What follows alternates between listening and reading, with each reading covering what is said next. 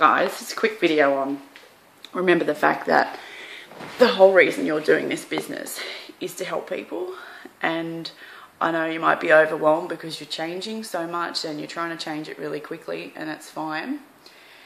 But just remember that when you're with the customer, the potential client, your job and your mission is to help them get whatever their results are that they're after, if that's what you can do. So stop making it about yourself, for one.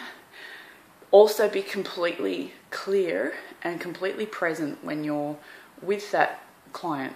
So, obviously, don't promise things that you can't deliver, but if you really can deliver the results to them, just know that you can deliver the results to them, talk to them about their results and their goals, and just have a genuine conversation with the person. You're not selling anything mystical or a used car that doesn't work.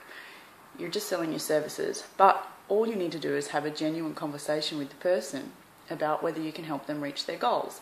Be completely present. Don't worry about the fact that you've got to do all this admin and all that stuff. Like, honestly, that stuff is not as important as helping that person reach their goals, right? And if you're having a conversation with somebody, talk to them about helping them reach their goals. It's not about you and the admin that you've got to do behind all this stuff and like it might be you, you might be creating a lot of work for yourself which we can talk about making things easier at another time but be completely clear be completely present when you're with that person because it's about helping them get results. Listen to what it is that they want help them discover what it is that they need and then you can either help them or you can't or they might be already a paying client but just be completely present when you're talking to them and don't stress about all the other stuff that has to be done in the background because then you're not present and your business will go slowly down the drain if it doesn't go fast down the drain if you're not being present when you're talking to your income.